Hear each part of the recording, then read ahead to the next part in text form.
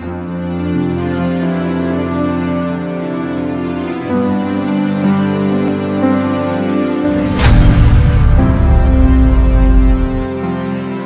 आपका स्वागत है कोकेन एब्यूज या कोकेन की लत के बारे में आज बात करते हैं। मेरा नाम है डॉक्टर दीपक केड़कर मैं मनोविकार, सेक्स रोग सम्मोहन तथा व्यसन मुक्ति तज्ञ महाराष्ट्र में अकोला में प्रैक्टिस करता हूँ। कोकेन जो है, ये पत्तों में मतलब कोकेन के पत्ते आते हैं, एक पौधा आता है, उसका नाम है एरिथ्रोजिलॉन कोका। तो ये जो पौधा है, उसके पत्तों से ये तैयार होता है और उसको कोकेन बोलते हैं। तो ये जो है, ये एक तो उसके पत्ते जो है, वो सुखा कर पाउडर बनाकर उसको खाते हैं लोग, या उसकी पाउडर बनाकर उसको सूंघते हैं, या फिर स्मोक करते, इनहेल करते, अंदर लेते सांस के साथ में पाउडर बना के, सिगरेट में डाल के स्मोक करते या फिर आईवी इंजेक्शन लेते और उसकी, उसका इफ़ेक्ट आता है, यूफोरिक इफ़ेक्ट आता है, बहुत अच्छा लगने लगता है।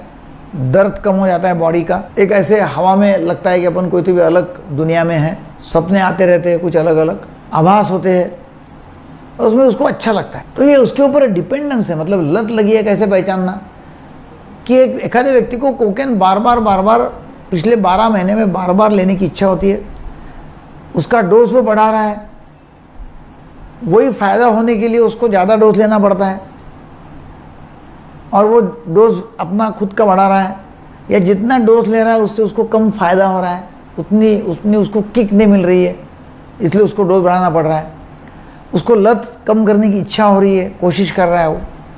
और वो जो है कोकेन, वो पाने के लिए वो कुछ भी करने को तैयार है। लंबे लंबे दूर तक जाएगा, झगड़ा करेगा, कहीं से भी चोरी करेगा और वो लाएगा। और कोकेन एडिक्शन से उसको व्यवसायिक, व्यवहारिक रिश्तों के ऊपर प्रभाव पड़ता है। अभी ये विड्रॉल जब आता है तो उसका इलाज करना ज़रूरी है, क्योंकि ये, इसके तो इफेक्ट्स तो है बॉडी के ऊपर है, मन और शरीर के ऊपर इसके इफ़ेक्ट है। अनेक शरीर की बीमारियाँ हो सकती है, मन की बीमारियाँ होती है, और इसलिए कोकेन जो है उसकी लत से दूर करना, उसको ठीक करना ज़रूरी है। तो उसको लत लगी है और उसको विड्रॉल आ गया है, ये कैसे पहचानना? तो उसे एक तो है कि वो कोकेन नहीं लिया तो बहुत थकान आती है। बहुत ज़बरदस्त थकान नंबर एक। नंबर दो, उसको खराब खराब सपने आते। आभास होते हुए सपने आते। आधा आधा शुद्धि में रहता है वो, आधा बेशुद्ध रहता है वो। मतलब होश नहीं है। आधा बेहोश है, आधे होश में है। तीसरा, नींद नहीं आना या ज़्यादा नींद लगना। चौथा, भूख बहुत ज़्यादा लगती है। और पांचवा जो है वो कम हलचल होती है या उस कम हलचल मतलब एक जगह बैठे रहेगा या बहुत बेचैनी करेगा। तो ये पाँच में से यदि दो उसमें लक्षण है तो समझना कि उसको विड्रॉल हो रहा है कोकेन का। कोकेन का विड्रॉल ठीक करने के लिए हॉस्पिटल में भर्ती करना ज़रूरी है।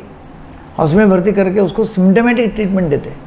ऐसा स्पेसिफिक एंटीडोट नहीं है कि वही दिया तो उसके लक्षण ठीक हो जाएगी। बारह महीने तक कोई भी व्यक्ति यदि वो लेता है कोकेन तो समझ जाना कि उसको एडिक्शन हुआ है। और जैसा मैंने पहले बताया कि एडिक्शन खराब है। व्यक्ति के मन के ऊपर, शरीर के ऊपर बहुत प्रभाव होता है बुरी तरह, इसलिए एडिक्शन से ठीक करना उसको ज़रूरी है। ये वीडियो आपको अच्छा लगा तो ज़रूर शेयर करो सब्सक्राइब करो लाइक करो. Thank you very much